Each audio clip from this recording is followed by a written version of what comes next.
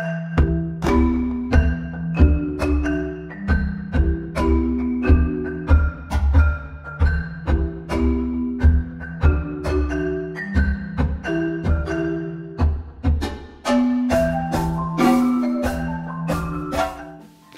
To me, a legacy is what people think of after I'm gone, either retired or even passed away. Mine has involved largely water through the years. The year I was born in my hometown, there was no treatment plant, so all the sewage went straight to the river with no treatment at all. I'm proud to say that after 60 years, I'm finishing up my career putting in the third level of treatment, so the water is tremendously cleaner than it was before.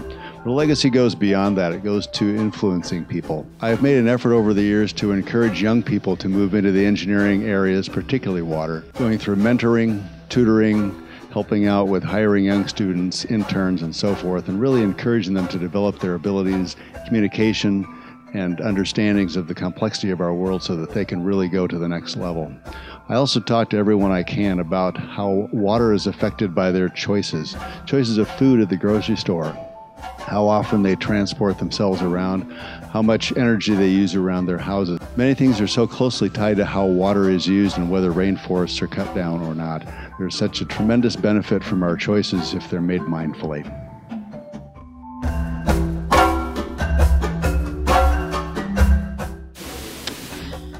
My most significant contribution to our industry in water is being a minority and being an example for others to develop a more diverse industry where we have people from different perspectives and backgrounds providing more insight to really revolutionize what we're doing here, which is essentially providing an awesome product to people.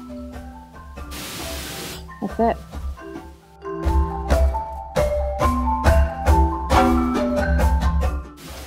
What legacy means to me is what we are leaving behind for our children and our children's children. And so, how that relates to water is that water is what sustains life on this planet as we know it. So, what more valuable way to spend our time and energy than protecting and cleaning that water for our kids and for our grandkids? So, for me, I've decided to dedicate my entire professional life to to pursuing that mission and leaving a water legacy for my kids and my grandkids.